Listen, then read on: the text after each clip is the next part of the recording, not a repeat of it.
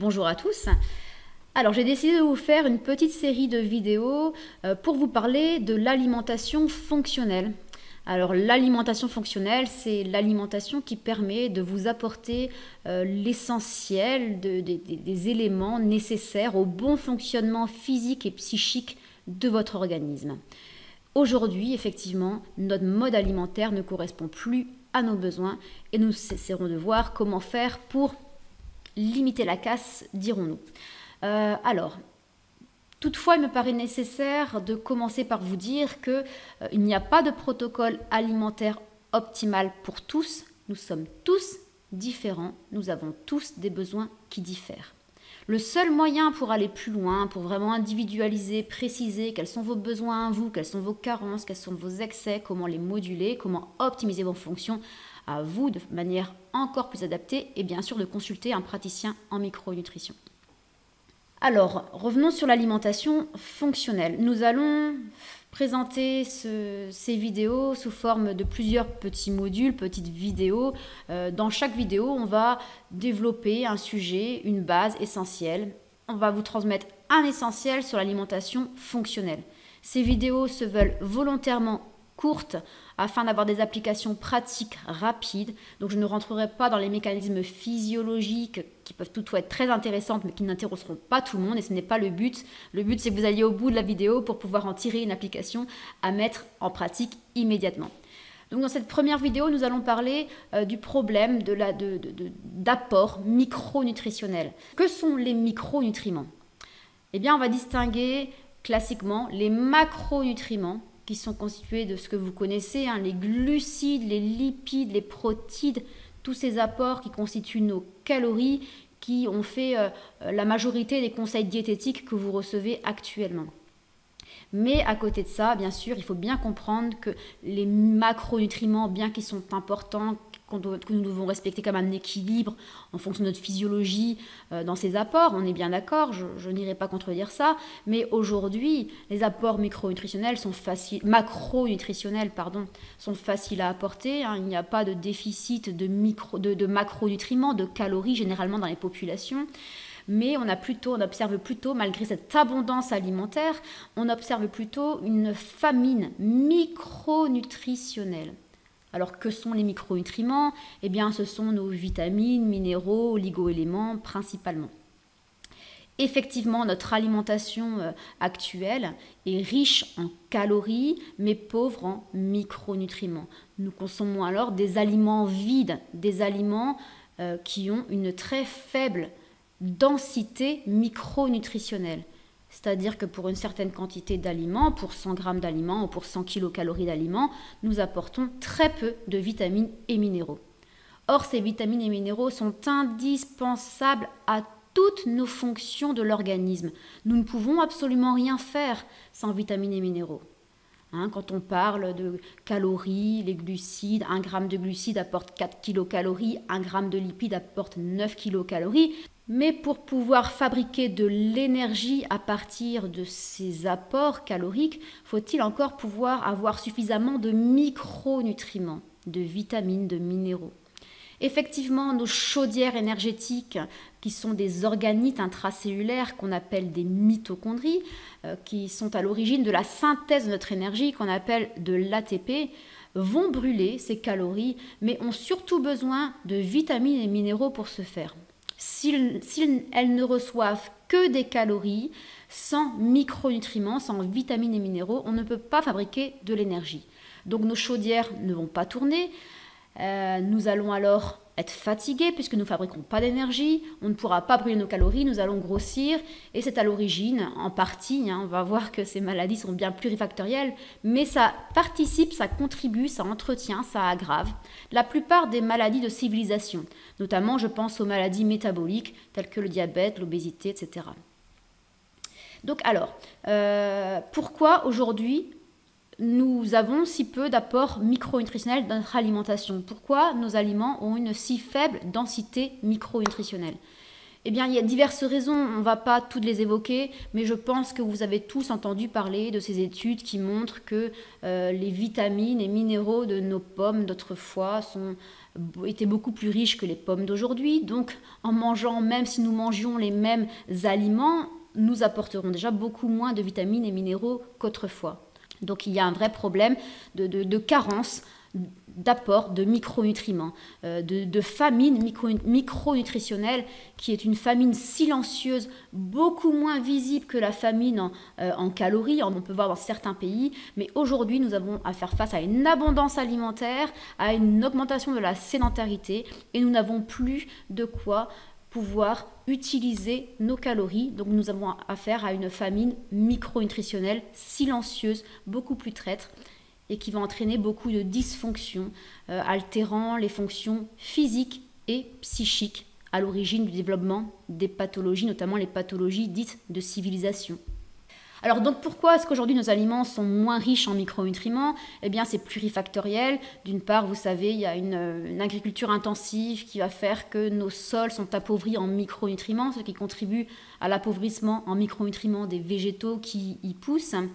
Euh, par ailleurs, euh, les animaux sont nourris aussi, bien sûr, d'une façon plus monotone, avec euh, des céréales souvent riches en oméga 6. On verra dans les prochaines vidéos l'importance d'un équilibre en acides gras oméga 3, oméga 6.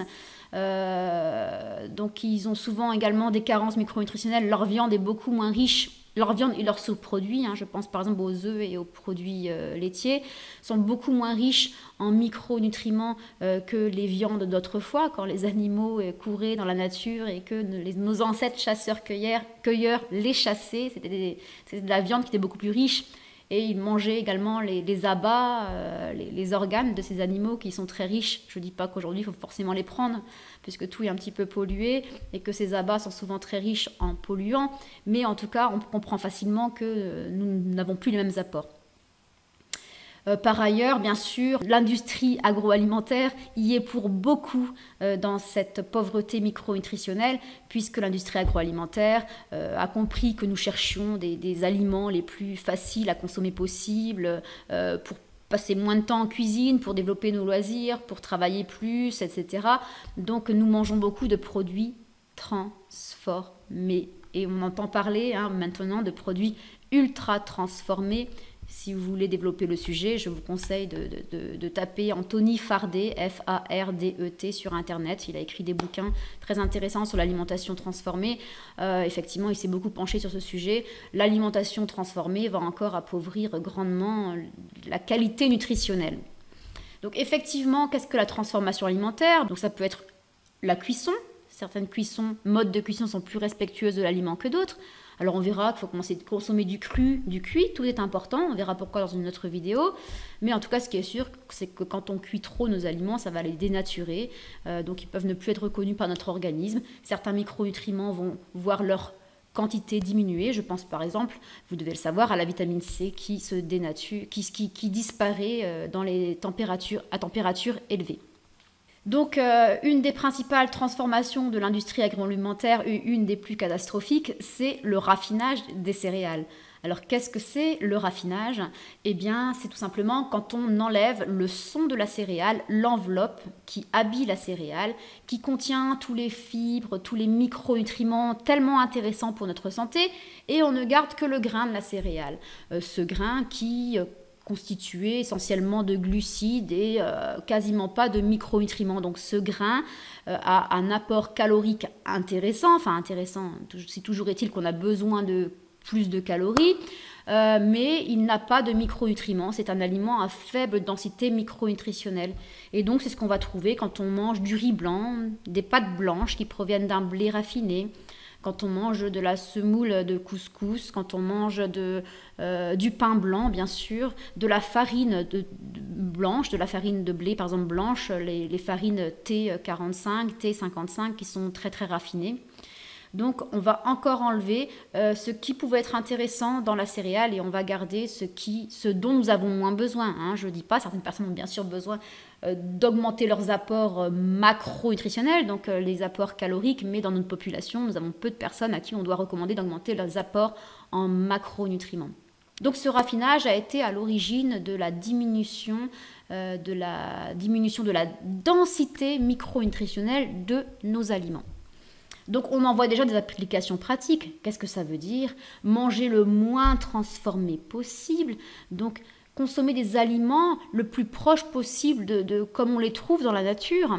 Euh, bah, une pomme plutôt qu'une compote, une orange plutôt qu'un jus d'orange, euh, des céréales non transformées. Hein. Alors quand je parle de céréales, je parle bien sûr de vraies céréales, pas de céréales Kellogg's comme on entend parfois. Hein. Ma, propre fille que, à qui j'ai essayé de toujours transmettre les vraies valeurs de l'alimentation santé, rentrée de l'école l'autre jour et qui me dit Maman, aujourd'hui à l'école j'ai mangé des vraies céréales. comment ça, des vraies céréales? Qu'est-ce que c'est des vraies céréales? Elle me dit Tu sais, c'est des céréales, sont dans des boîtes et il y a un petit lapin sur, le, sur la boîte. Ah, ah. Non, ma chérie, ça, c'est pas des, pas des céréales, c'est des aliments ultra transformés. Euh, non, effectivement, les vraies céréales, donc des vraies céréales non raffinées, comme le riz complet, éventuellement le riz semi-complet, par exemple basmati, qui sera moins riche en arsenic. Euh, le, le, quinoa, qui est plutôt une légumineuse d'ailleurs, on pourra la mettre quand même au niveau micronutritionnel, on la mettra quand même dans cette catégorie, euh, le sarrasin, le millet, etc. Euh, les légumineuses sont particulièrement intéressantes, elles sont très riches en fibres et en micronutriments. Donc les légumineuses, je pense par exemple aux fèves, aux pois chiches, aux lentilles, aux pois cassés, etc. Donc ces aliments les plus proches possibles de leur, euh, de, leur façon dont elles sont dans la nature, les moins transformés possibles. Bien sûr, les légumineuses nécessitent une cuisson, sans quoi elles ne sont pas digestes. voilà, vous avez compris le message, hein, les aliments qui ne sont pas transformés, qui sont les plus simples, et en plus, vous allez pouvoir faire des économies euh, plutôt que de prendre des aliments transformés. Et ces économies vous permettront de pouvoir, par exemple, les acheter plutôt bio. Alors malgré ça, on me dit parfois, oui, mais le bio est quand même beaucoup plus cher. Euh, oui, enfin, comparer ce qui est comparable. Euh, lorsque l'on prend un aliment ultra transformé, qu'est-ce que l'on mange finalement?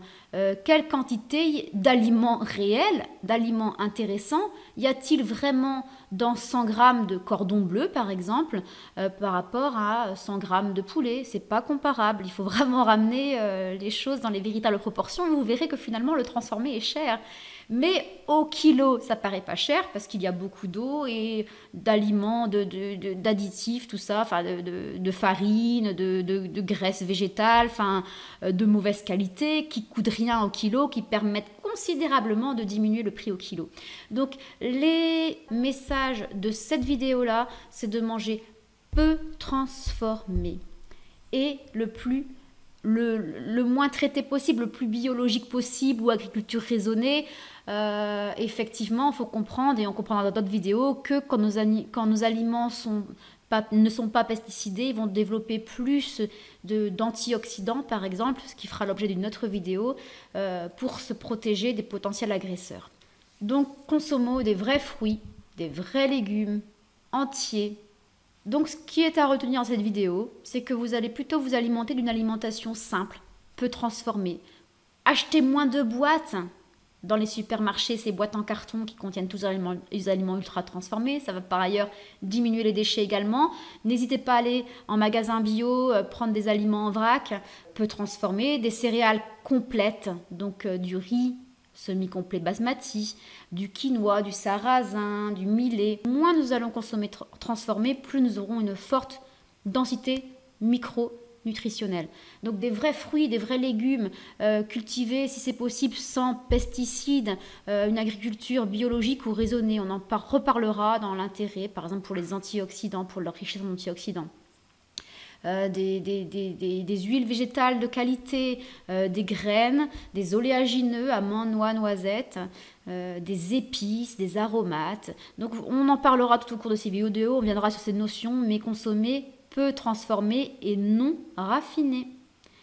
Donc la prochaine fois, nous parlerons dans la prochaine vidéo je pense qu'on parlera des glucides, des charges glucidiques et de la problématique de consommer des aliments à charge glycémique élevée et où sont ces aliments à charge glycémique élevée. À bientôt